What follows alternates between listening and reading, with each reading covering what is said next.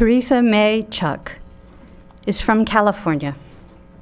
She was born in Saigon, Vietnam, and immigrated with her mother and brother after the war at age two.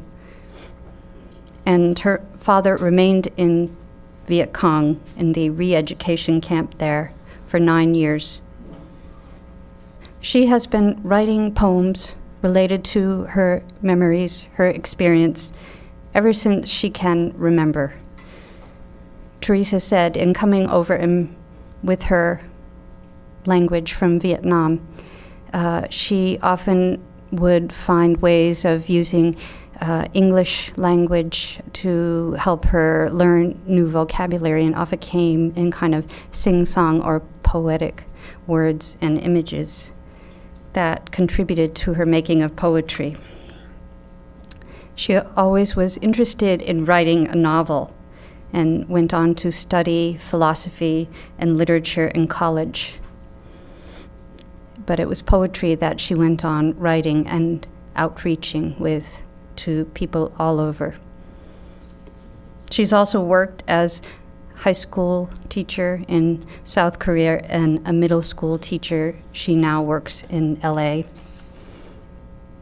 Her poetry has been published in a number of journals, and her first book, Red Thread, uh, was released a few years ago, as well as a chapbook, and she's just about to release her second book, Keeper of the Winds.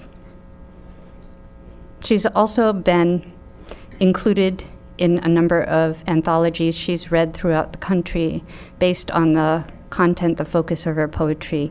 And a recent anthology that she's included in is by Doug Valentine, who is here today, titled With Our Eyes Wide Open. And it's about writers who are united by common interest in promoting peace, justice, and human welfare. Teresa is working on a documentary based on this book. And uh, they did an interview, and the focus on that was on transformation and writing poetry. And Doug had asked, How can poetry help?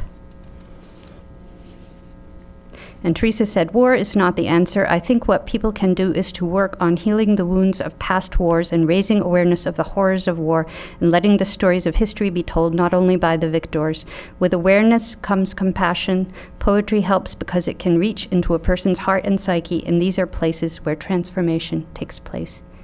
And she's here with us today to share some of her words of transformation and experience. So please help me welcome Teresa Mei Chuc.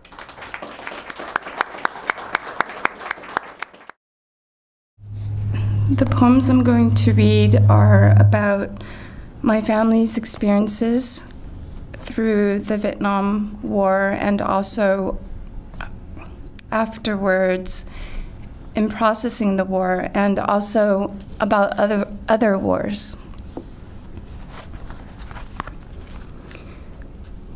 Immigration. It is October when the winds of autumn blow strong in the Pacific. There are over 2,000 of us, sardines, barely human, and starving. We sleep on the floor and wash ourselves with seawater. People are sick.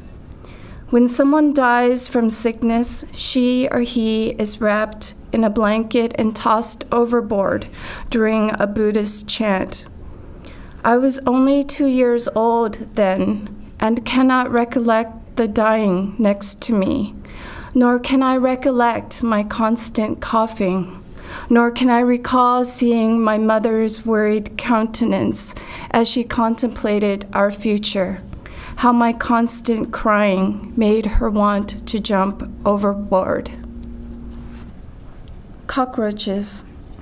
A proposal by someone to my mom after the Vietnam War why don't you sell your baby? You don't have anything to eat.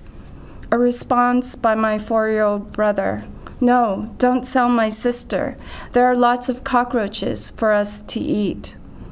When I returned to the country 18 years later, I saw them large, brown, shiny tanks on the wall, evidence of my brother's love for me. The following poem is about my father's experience in re education camp.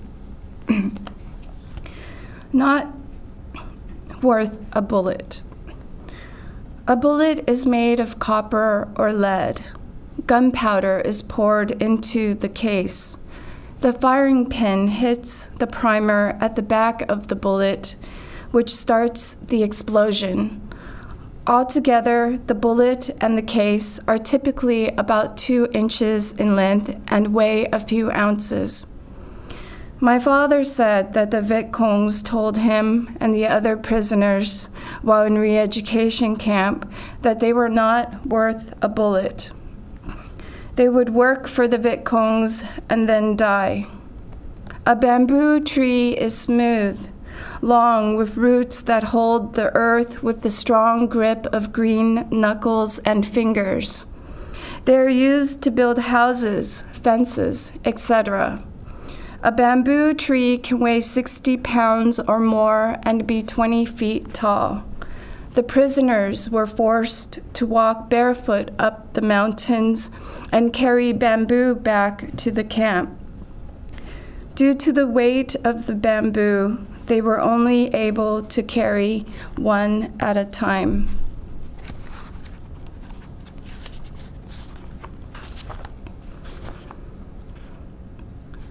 Vietnam Ghost Stories.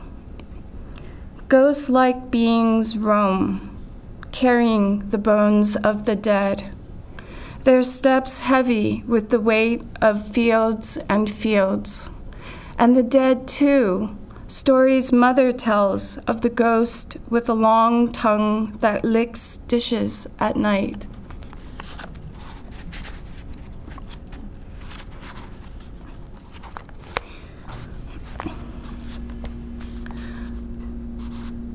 So, one of the consequences of the war in Vietnam was the use of Agent Orange and its continued effects right now in the country.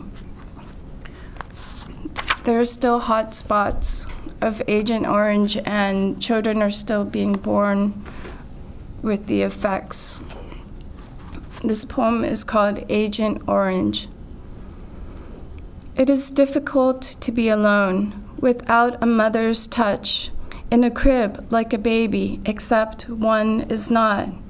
A son taught to live with a thirst for a mother who loves her child, though one of his legs is too short, the other too long. He sits, arms bent and limp. But do not avoid him. He wants to interact. His swollen eyes and misshapen head leans back. In a dream, mother holds him close, as if by her embrace alone she will somehow right the wrong. The chemical traveled through her placenta to the womb where small limbs that needed to form couldn't, where the tiny body, the size of a fist, no longer knew what to do. It was named for the orange band around each 55 gallon drum. Orange as a sunrise that permeates one's soul, how its rays cover the sky and the earth with a deep orange, rising as those bodies also rise.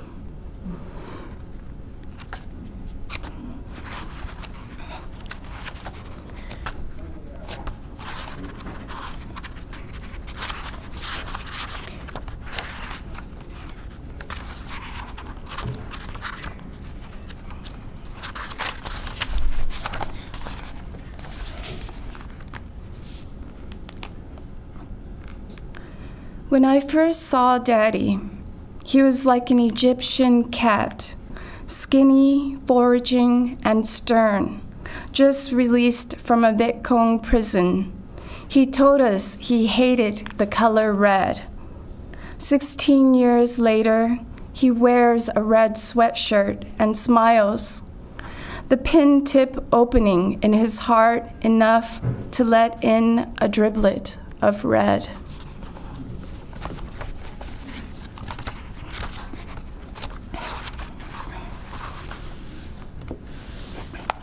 This poem was written for my paternal grandmother and for my maternal. Grandma, a hologram. In your physical absence, the hologram of me still contains you like a cut leaf. You are part of the light scattered from me, so that even a tiny fragment, an eyelash, still contains the whole of you.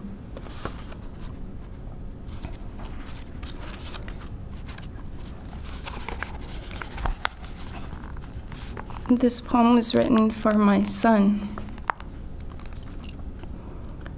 Photosynthesis.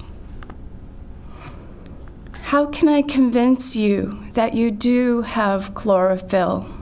That you can take the sun's energy and turn it into sugar? Produce something sweet inside of you. Take the waste people breathe out and make it into something that will keep you alive, that will keep those around you alive.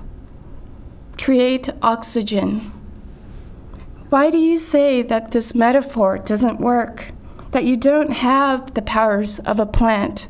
That nature didn't intend you that way? Look how you twist and turn towards the light. Now I'm going to read from my new book, Keeper of the Winds, which will be released on Monday. but um, you can, if you want to order it by tomorrow, it's free shipping. so, sorry, probably didn't need to talk about that. Um, sorry. Um, so, in addition to the war, war in Vietnam, I continued to write about other wars because this is an issue that's important to me, and peace is important to me, and reconciliation and transformation, and bringing awareness into the world in, in the small way that I can. Depleted uranium the water runs a neon color in the village. All the villagers know why the babies are born dead or deformed. Others say there is no proof it was the war. Sometimes truth can only be understood. The father carries the little body wrapped in a blanket. She will be buried with a wooden grave marker, her name inscribed with a knife there are coffins that are only six inches long. If you place your hand inside, it will fit.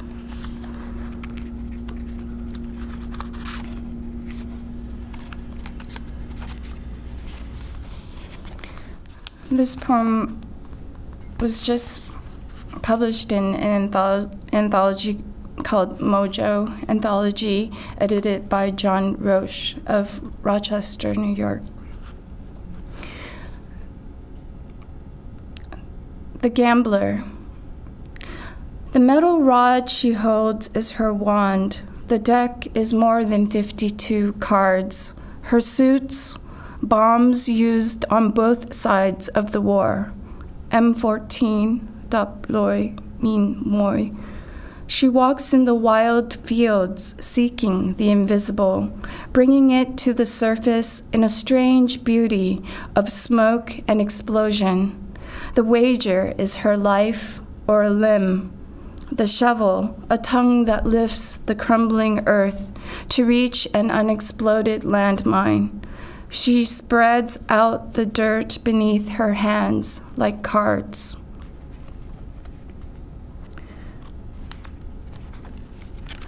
And there is a continued problem with unexploded landmines in Vietnam, especially central Vietnam and in Cambodia and Laos. And kids are still being killed and um, adults as well due to these unexploded landmines. I took nothing and broke it in half. As if mocking me, there was an even greater nothing, and I felt myself falling. I took my falling and broke it in half. It did not stop the falling. I plunged deeper. I took this depth and gathered it, the darkness with all of its stars, and put it in the wings of a bat. I watched it retreat into the deepest of caves, where it screams and listens to its voice returning from stone walls.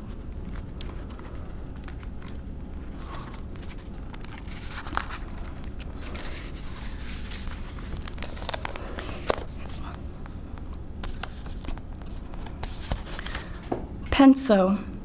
This is a quote by Vincent van Gogh.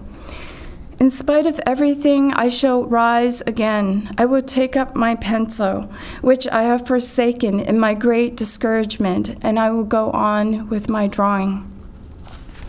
A missile is shaped like a pencil. Its long, slender body and pointed end creates history.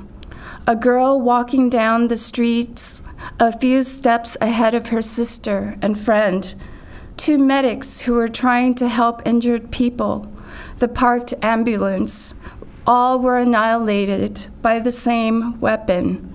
Above, drones, silent, unmanned planes, a metal predatory bird that shoots a missile with precision, identifying the colors of a shirt, the features on a face, the shape of a nose, the color and length of a mustache. In a room far away, in another country, a man sits at a desk and looks at a screen.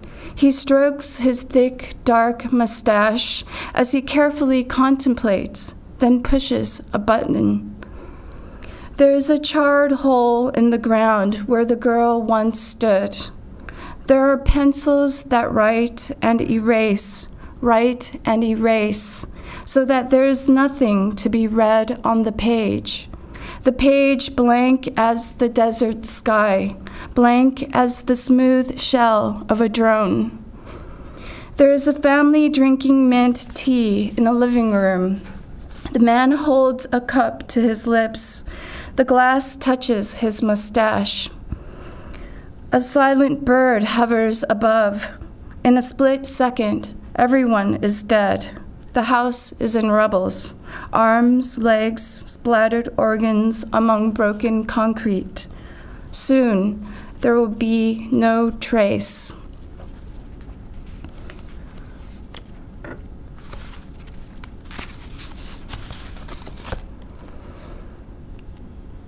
Ocean in a conch shell. Ocean in a conch shell. F 16 fighter jet, fighter jet above in an empty cup pressed against the ear.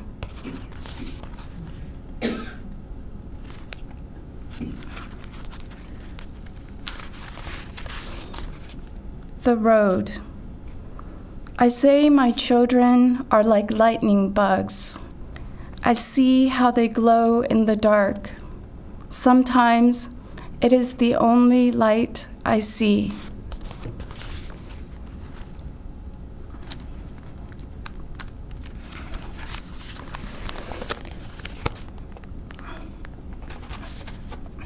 Accents.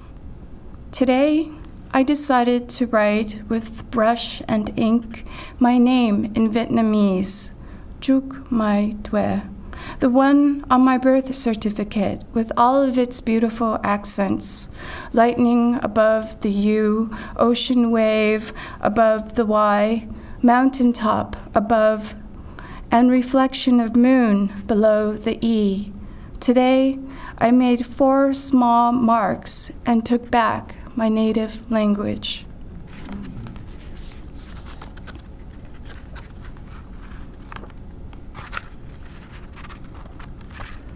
And I'll end with my poem Names. I'm tired of having five different names, having to change them when I enter a new country or take on a new life. My first name is my truest, I suppose, but I never use it, and nobody calls me by this Vietnamese name, though it is on my birth certificate. Due Mai Juk. It makes the sound of a twang of a string pulled. My parents tell me my name in Cantonese is Juk Mei Wai. Three soft bird chirps, and they call me a Wai. Shortly after I moved to the US, I became Teresa Mai Chuc, then Teresa Mei Chuc. Teresa is the sound water makes when one is washing one's hands. After my first marriage, my name was Teresa Chuc Prokopiev. After my second marriage, my name was Teresa Chuc Dowell.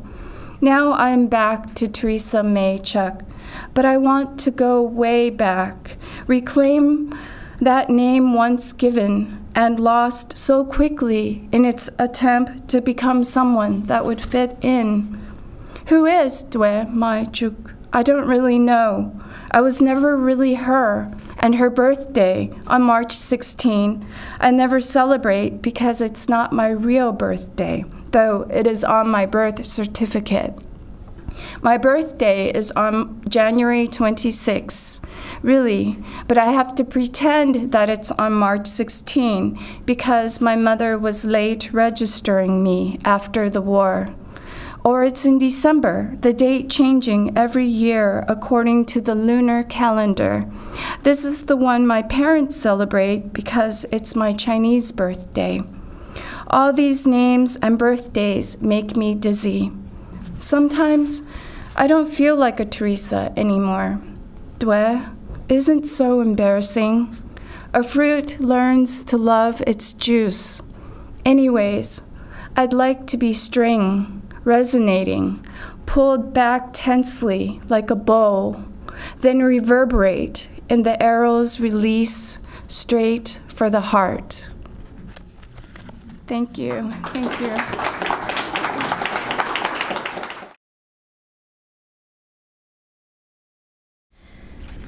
Comma.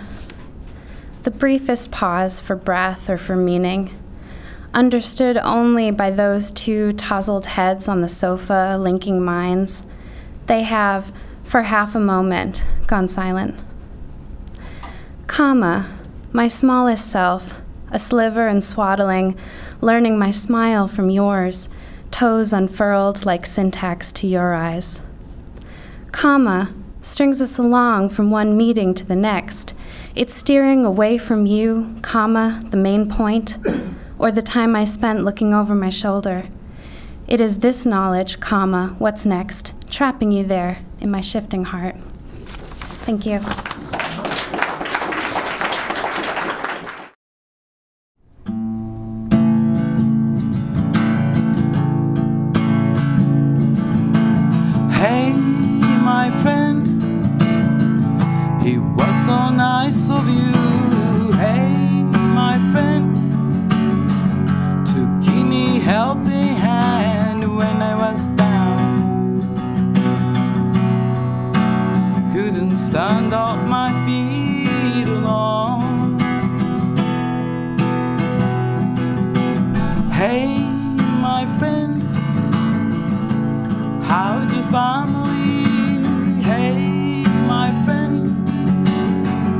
I heard you had some trouble. Let me know there got to be something I can do for you.